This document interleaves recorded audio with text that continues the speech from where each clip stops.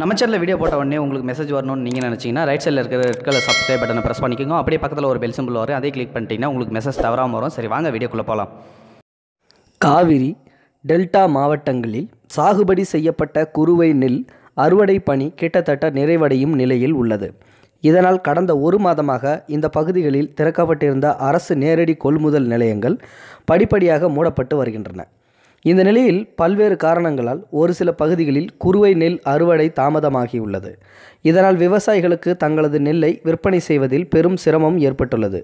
இப்படி இக்கட்டில் தவித்து நின்ற விவசாயிகளுக்கு தஞ்சை மாவட்ட ஆட்சியர் கோவிந்தராவ் தனது துரிதமான நடவடிக்கை மூலம் கை கொடுத்த சம்பவம் விவசாயிகள் மத்தியில் நெகிழ்ச்சியை ஏற்படுத்தியுள்ளது. தமிழ்நாடு நுகர்பொருள் வாணிப கழகம் மத்திய அரசின் இந்திய உணவுக் கழகத்தின் முகவராக செயல்பட்டு இங்குள்ள விவசாயிகளிடமிருந்து நெல்லை கொள்முதல் செய்கின்றது. இந்த ஆண்டு குறுவை நெல் கொள்முதலுக்காக தஞ்சை திருவாரூர் நாகப்பட்டினம் உள்ளிட்ட டெல்டா மாவட்டங்களில் எட்நூற்றி அறுபத்தி ரெண்டு நேரடி நெல் கொள்முதல் நிலையங்கள் திறக்கப்பட்டு கடந்த ஒரு மாதமாக செயல்பட்டு வருகின்றன. விவசாயிகள் தங்களது கடும் உழைப்பை செலுத்தி பல்வேறு இடர்பாடுகளுக்கு இடையே நெல்லை விளைவிக்கிறார்கள். ஆனால் இதை அரசு நேரடி நெல் கொள்முதல் நிலையத்தில் விற்பனை செய்வது என்பது பெரும் சவாலாகவே இருந்து வருகிறது.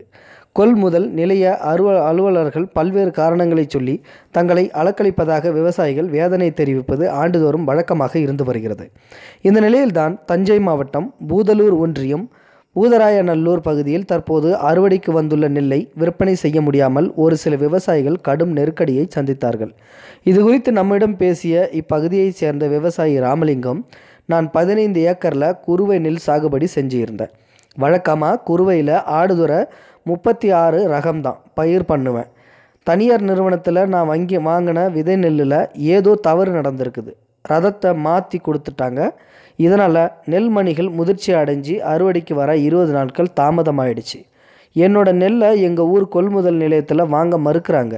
இந்த வருஷத்துக்கான குருவை கொள்முதல் முடிச்சிட்டோம்னு இங்கே உள்ள ஊழியர்கள் சொல்கிறாங்க எங்களோட வருவாய் கிராமத்திலே உள்ள ஆற்காடு நேரடி நெல் கொள்முதல் நிலையத்துக்கு என்னோட நெல்லை கொண்டு போகலாம்னு பார்த்தா அவங்களும் முடியாதுன்னு சொல்கிறாங்க உடனடியாக விற்பனை செஞ்சாகணும். மழை வந்தால் கடுமையாக பாதிப்பை சந்திச்சாகணும். நெல்லை காய வச்சாலும் கூட அதுக்கு பிறகு நான் எப்படி இந்த நெல்லை விற்பனை செய்ய போகிறேன்னு தெரியல. என மிகுந்த உளிச்சலோடு பேசினார். விவசாயி ராமலிங்கத்துக்கு நேர்ந்த இக்கட்டான நிலைக்கு தீர்வு காண தஞ்சை மாவட்ட ஆட்சியர் கோவிந்தராவின் கவனத்துக்கு இந்த பிரச்சனையை கொண்டு சென்றோம். உடனடியாக நடவடிக்கையாக எடுக்கிறேன். விவசாயியோட ஃபோன் நம்பரை எனக்கு அனுப்புங்க என்று சொன்னார்.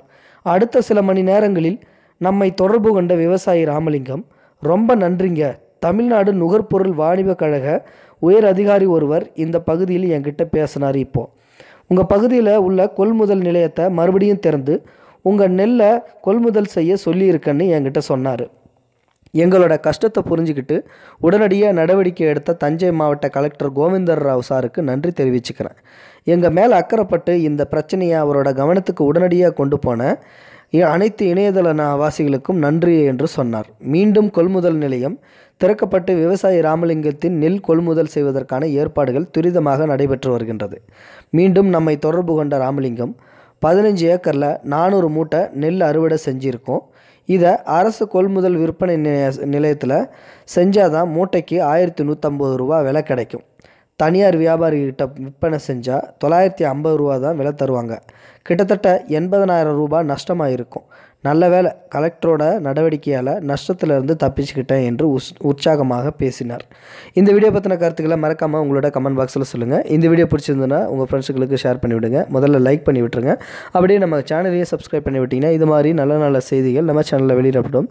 தேங்க்ஸ் ஃபார் வாட்சிங் இது போன்ற செய்திகளை உடனுக்குடன் நீங்கள் தெரிந்து கொள்ள மறக்காமல் எங்களுடைய சேனலை சப்ஸ்கிரைப் செய்யவும் கூடவே பக்கத்தில் வரும் பெல் ஐக்கானையும் கிளிக் செய்யவும்.